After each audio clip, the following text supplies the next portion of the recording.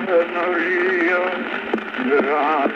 plena, Dominus tecum, benedicta tu in mulieribus, et benedictus fructus ventris tui.